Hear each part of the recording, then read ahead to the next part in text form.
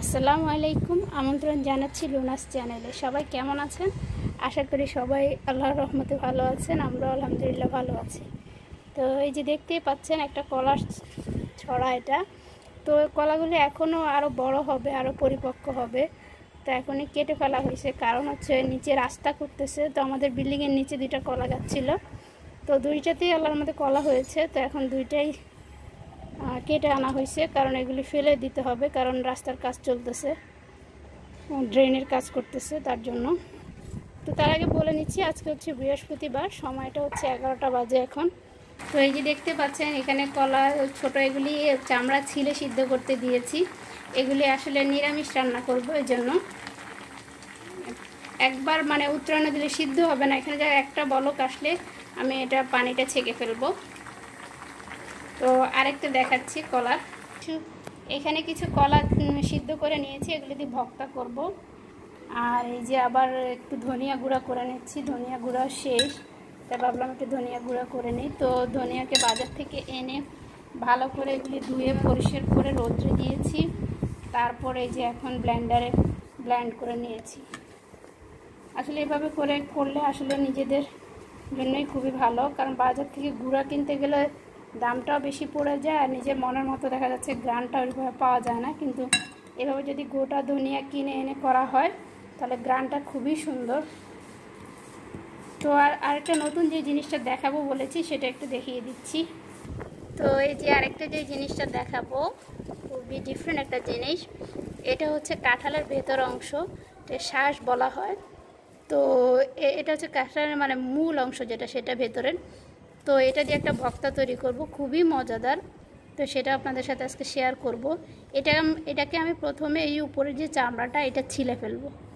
তারপরে টুকরো করে সেদ্ধ করব। তো এই যে একটু দেখিয়ে দিচ্ছি কীভাবে ছিলতে হয়। আলু যেভাবে আসলে ছিলে চামড়াটা, সেভাবেই ছিলে নিচ্ছি।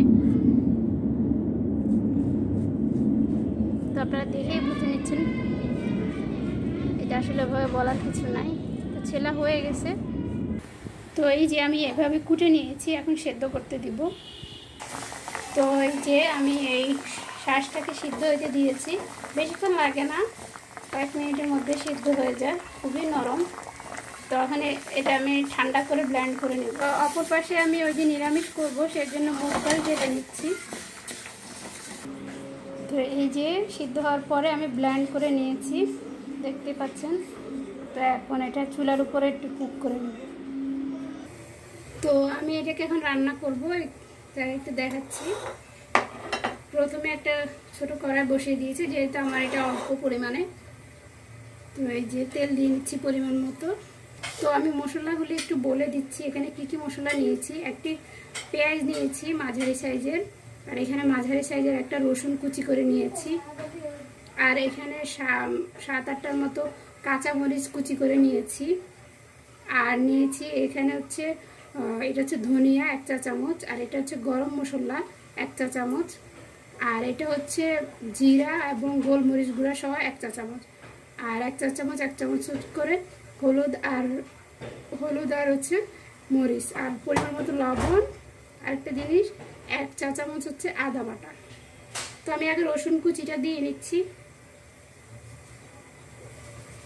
রসুন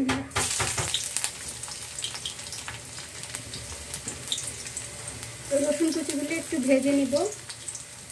তো এই অবস্থায় দিয়ে নিচ্ছি পেঁয়াজ কুচি। আর আদাটাও দিয়ে নিচ্ছি এই অবস্থায়। তো আমি এগুলো আরেকটু ভাজি করে ভাজিয়ে নিচ্ছি।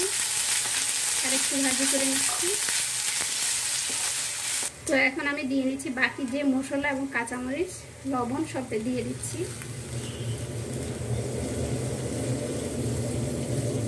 মশলাটা কষার জন্য এক কাপের মতো পানি দিয়ে নিয়েছি এবার ভালো করে মশলাটা আগে কষিয়ে নেব।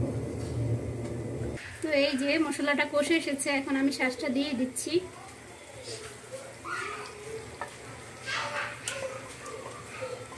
সম্পূর্ণটাই দিয়ে দিলাম, এখন একটু নেড়ে দিচ্ছি। এই শ্বাসটা যেহেতু ব্লেন্ডারে ব্লেন্ড করেছি, এটার সাথে পানি রয়েছে। কারণ পানি দিয়ে, একটু পানি দিয়ে করেছি। তো এটাকে আমি শুকিয়ে ফেলব একদম। তো এই যে দেখতে পাচ্ছেন, এটা শুকিয়ে এসেছে। আমার প্রায় পনেরো মিনিটের মতো লেগেছে। এটা স্টিল দাঁড়িয়ে থেকে করতে হবে, নাহলে লেগে যায়। তো আমি এখন চুলা বন্ধ করে দিব। আমার এটা রান্না হয়ে গেছে। তো এই যে তৈরি হয়ে গেল কাঁঠালের শ্বাসের ভক্তা খুবই মজাদার একটা খাবার। তো আমি একটু ধনিয়া, একটু গাজর দিয়ে একটু সাজিয়ে দিয়েছি, সুন্দর লাগার জন্য, এই তো। আপনাদের কেমন লেগেছে এবং এটা করে অবশ্যই খাবেন এবং আমাকে জানাবেন। এই যে কলার ভক্তাটাও হয়ে গেছে, তো এটা একদিন শেয়ার করব। আজকে আর করছি না। কীভাবে করেছি ইনশাল্লাহ আরেকদিন শেয়ার করব। আর এটা হচ্ছে যে কলার নিরামিষটা, এটা কুমড়ো শাক দিয়ে করেছে। তো এটাও শেয়ার করে নিই। এটা আসলে সবগুলো শেয়ার করতে গেলে টাইমটা অনেক বেশি লেগে যায়। এটা ইনশাল্লাহ আরেকদিন শেয়ার করব। তো আমি আমার ব্লগটা এখানেই শেষ করছি। আল্লাহ হাফেজ। আসসালামু আলাইকুম। আর আমার চ্যানেলটিকে সাবস্ক্রাইব করবেন, বেশি বেশি শেয়ার করবেন কমেন্টস করবেন, এবং পাশে থাকা বেল আইকনটি প্রেস করে দিবেন, এতে করে আমার নতুন ভিডিও সবার আগে আপনি জানতে পারবেন। সো আল্লাহ হাফেজ। আসসালামু আলাইকুম।